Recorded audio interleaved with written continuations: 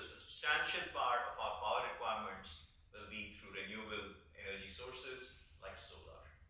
Number three, today we collect more plastic than we use in our packaging. So we are already plastic neutral for our packaging.